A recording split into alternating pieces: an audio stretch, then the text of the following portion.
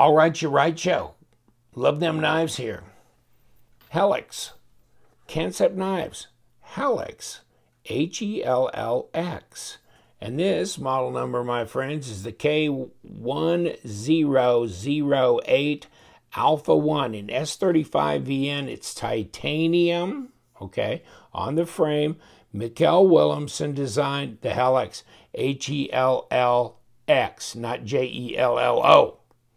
Um, deep carry titanium pocket clip. Looks like it's screwed on from the underneath. We'll take this one apart. Looks interesting, doesn't it? Now, if you're not into Mikkel Willumsen designs, then this is probably your not not your knife, you know. Uh, but I like it. He does some wonky stuff and very particular to him. You know, you see one of his designs, you just know it's one of his designs. And so he's done this one in collaboration with Kansept. Now, um, this one is titanium and S35VN. So it's 198 bucks before discount. If you get on White Mountain, and they have them on there, uh, you know, 10% off be like $20 off. So more like 180 bucks no tax free shipping if this is what you're looking for, the titanium. But if you ain't playing on the 180 plane and you still want a taste of the Hellx, then why don't you get the one in G10 with a D2 blade? What? Yes. And yeah, they do. They make it. And yes, this is G10, and obviously it's not titanium back there and it's a steel pocket clip, but it's, ooh, she's the Haas. I mean, same size, same dimensions as the titanium model. It's just got the G10 instead. And let's check this real quick. But I think, yeah, I mean, that's a steel liner, not, of course, titanium, but it's not aluminum either. But it just still feels very light. This feels pretty light. Actually, the titanium one feels pretty light considering how big they are. Okay, let's go back to the titanium because we'll talk about the G10 one on another video.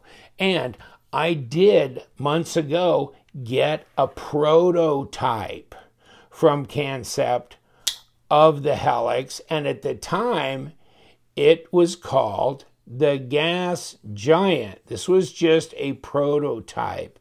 And so Mikkel sees that probably the translate, translation didn't go through well and it shouldn't have been named Gas Giant. Okay, so not Helix is not the gas giant like cosmically speaking. It's H E L I X, I believe. So, but regardless of that, yes, this knife is very similar to the actual production one. Take a look. Other than the name on the back side, it looks pretty much similar. And here we go. Flip it over. Um, see, they changed the location of the screws. They brought it in from underneath instead of on top. Interesting. What other changes can you see? Right off the bat, just in a cursory way. I don't. Um, but this feels light. Uh, and let me put this on the scale while we're doing it, and then I'll put a tape on it. But it's it's a pretty good sized knife. 5.8 uh, ounces. Oh, 160, nah, 166 grams. Okay. So here's the box. Hellx, 3.62 inch blade, the K 1008 Alpha 1. Comes in a nice slide open box like this. See how they do that? And then, of course, you got paperwork under here, and under that, you've got a little pouch where, and let me see if I can pull this paperwork out. They slide that right in as a tight fit.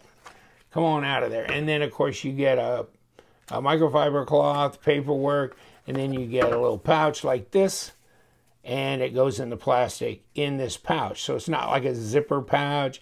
It's not a Velcro pouch. It's this kind of pouch. And then in here, a little bit of paperwork and uh, your microfiber cloth, which just slides in here and it all slides together on this box here, like that. Put this little joyride right here, and let's see what we got. Well, we got three and three quarter up to 3.62, like they were saying, at about anywhere from 100 millimeters up to about 95. And then eight and three quarter overall at 22 and a half centimeters. So that's an eight and three quarter inch long knife, just shy of nine inches. Like I said, it's a pretty good sized knife. It doesn't feel that fat. So let's check it. Yeah, it's not that bad. It's like 49.49 uh, of an inch. So basically a half inch, 12.6 millimeters. Blade stock, 3. Point, eh, 3.5, let's call it, at 0.13 inch. So, and I don't think that changes anywhere here. Nah, that stays the same at a half. It looks like it does, though, doesn't it? But it's just all these angles here. So it makes it look thinner, but it's not here. And you've got lots of jimping along this backspacer. Check that out. That's a long backspacer. Here's for your lanyard hole. Of course, they, they hid the screws here for a nice deep carry, of course, right hand tip up only. And how do I disengage this uh, lock bar? Real easy here. This is pretty easy. Okay, so this does make for good fidget factor. Uh, check the flipper tab out. It's jimped, but it's small. I mean, really, it's pretty muted considering how big a hoss this is but it's still pretty intuitive. Okay, now if you got much smaller hands, you probably can't bury this in the palm of your hand and still reach this. So you may have to forego that and just get up on it like this, which is not a problem. But okay, like that. And it kicks open pretty well.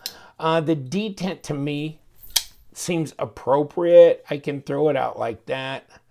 Um, let me see if I can fail it. That's kind of the issue here. Yeah, I can fail it. Yeah. Hey, if you want to know if a knife, if you can fail it or not on flipping, just hand it to a non-knife person. They'll fail a knife that you can't even fail. it's it's kind of comical watching them or frustrating, depending on who you are. But you just go, come on, man, just do this. and they're like, and they're handling the knife and they're going, okay, hold on. Uh, uh, okay. I don't know. It's just, it's always hysterical. Um, so the jokes never stop. Um, yeah, and, and you can get this up here, this choil. It's a big choil. So you can put your finger up there. Oh, let me get a piece of prior printed out paper that we can recycle here. Oh yeah, okay, okay, yeah, it's sharp. I mean, it's all of that. That's not a problem. No, I mean it's not that fat. It's not four millimeter thick. So I mean, it looks pretty slicey actually, and shouldn't be too much of a pain in the butt to sharpen and strop. So that's cool, even though it kind of does this little corner move here. Um, also, this swedge coming down here makes that tip more reinforced, but it looks pretty sturdy overall. Uh, the fit and the finish on these are really good. Let's look at the lockup. Uh, 30%, 30 to 35%. But it gets over that detent ball. It's already over. See that? It's already over the detent ball. So, I mean, there's a lot of knives when they break. I mean, they can go this far and still even that far before they clear the detent ball. But this one, it's over it. It's already over it. That it's almost hard not to get it over it. There it is. But that, that was just cracking it. You know what I mean? And so, as long as that flipper tab hits you in the thumb, and that's a good thing, it's going to hit you in the thumb. So the blade's not going to come down and crush you. Okay? But it's still good fidget factor and it's centered. Blade play lock rock, uh-uh, and it's centered. look at the design flow. It's pretty good. Buries itself right in here and lines right up with this. So even as kind of angular and different as Willumsen is, um, it, still actually does flow. And mm, not bad as far as blade to handle length. I guess you could have crammed a little bit more in there, but not much. Maybe a 30 second. You know, maybe you could have taken it from the the shortest length here of 3.62 to maybe a 3.66 or something for that part. But uh, nah, I'm not I'm not gonna bitch and moan about that. I mean, you look at the knife Overall, it doesn't look disproportionate. If anything, it looks heavy blade wise because the height of the blade compared to how slender this is in here. Okay, now, not a lot of grip factor here, but there's a lot of tactile capability in there. And then, of course, on top of the blade, a lot of jimping. And really, this this really for, I mean, if I'm going to open packages or do something, because it's such a big, long knife, I don't want to sit too far back behind the blade because I don't have control. So really, if I want to cut some things, you know, if I'm going to take a label off a box real carefully or, or, you know, open things up, I think this is where it's got to be and I feel good there. And I do, the ergos are fine here as well because this is neutral, okay? And this is just the right size for my first finger.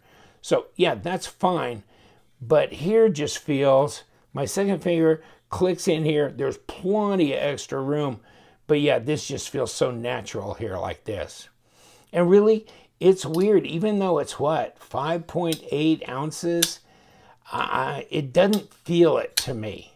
It really, uh, it belies its weight. It feels it feels lighter for some reason. And I don't know why. Maybe it's because it's spread out over a big distance here somehow, but it just doesn't feel that way. And my balance is right there. Okay, on this knife. I mean, just one more thing. I mean, here's the gas giant. So this is the proto, okay? So lay this down. This is 6.35 ounces. 5.88. Proto went on a diet before he became the functional, you know, production knife. And it looks like we chose the right side. And we got number eights here? Yeah, I guess we do. So let's pop this dog apart. I guess here in a little bit when we put it back together, we should weigh this against the G10 version and kind of see if there, you know, what kind of difference in weight we have. So I'll try and remember to do that. Oh, baby. Whew. Okay, I guess it came apart. Um, yeah, we got uh, definitely weight relieving here. Here's a blade-a-roo. Here's a washer and bearings on one side. We got bearings on another. Okay, so here's our blade. It looks clean. And there's our little detent track here. Okay, I mean, okay, fine. I mean, really not gooped up or anything. Kind of surprised. Um, okay, and there's our little ring around the ring rodeo track here where you've got this kind of little special area for these bearings to run. But just remember, guys, this is unusual. Most most you know washers are just flat. They don't have that groove in them. So there was a guy asking me, it's like one knife doesn't have a, I mean, of just some other brand he had. He goes, I thought they all had. No, they don't. Okay. So that's unusual, but it, it, it, doesn't really make that much difference in the operation of the knife as far as I can tell from knives that do have it or don't. But it's it's kind of a nice little extra, I guess. I mean, that's the way I see it. And then here's the screws holding the pocket clip in as opposed to the gas giant prototype. And hardened steel insert with a ceramic detent ball. And of course, these are ceramic bearings. And here's your back spacer that I guess I could pop off if I wanted to and I don't want to. Yeah, I mean, I could, yeah, here, here it comes, see. But nah, I don't I don't need to do that. So negatory. Leave it alone. Let's take a look at the uh, actual pivot. And you know, the pivot uh, came through from the back here, one piece, but it's not D-shaped. So just remember, although it has access for a number eight, so you can put a number eight on the front and the back, break it loose. So it doesn't need to be a D-shaped. So how do we put this Yahoo back together? Pretty easy because uh, it came from the back. So we'll just slide this in through the back, put the bearings on. They didn't look all gooped up or anything. So let's let's decide to despoil the knife ourselves and goop them up so we can say it's been properly gooped. And you can see that here's the track that this, you know, this stop is running on here, okay? Um, and let's roll it around, put it in place, and of course we're depressing that lock bar down so we've got room for everything else on this side. And I'm going to put the bearings up here, leave this track here down here, but the bearings I'm going to put up on the actual blade here. And then really just plop it together because all you got is them two screws and the pivot screw once you've done that. So let's hope the washer doesn't fall off on me while I'm trying to place this on. And so far so good. And yeah, it snapped right back together. Just hunky-dory. Still pushing that lock bar. If you have to reconstruct it from the lock bar side, I mean, you got to compress that blade onto that lock bar. Um, you know, or keep that lock bar lined up in behaving itself so you don't have it popping everything out of position. But uh, here we go, pivot screw. And it felt like there was a little, some kind of, I'm feeling a little thread locker in there somehow, but uh, nothing of concern. And uh, these are easy breezy, right? Sometimes these have a hard time coming apart when you have a long backspacer because you have a long area of contact in here. And sometimes it doesn't come apart that well. But this uh, never had any problem, did it? It just flew apart. And no, I'm not going to put any more thread locker. I know there's some guys that put, you know, thread locker every time they reassemble a knife. No, I don't, I, I can't remember the last time I ever had a body screw come loose on me. Um, and I guess if one did, I mean, you can check them periodically, but if they did, okay. I mean, I'm not against using it. Shit, yeah. But I mean, I don't, I mean, if it's not needed, then I'm not using it. Um, and let's see how, yeah, I needed to go some extra to tighten this up. Now, are we centered? dead centered. Okay, what do we got for action? Okay. I think we're pretty darn good. Maybe a little on that. We could break it just a little bit loose. Yeah, and, I could feel a little bit better action here. A little bit better drop. Now, am I still centered? Yes. And do I have blade play? No, none. So, okay, it could take that and still be behave, uh, be lined up and everything, but still, you know, have nice action to it. Better action, actually. Okay, now let's see if I can fulfill my promise about weighing the G10 version against the other.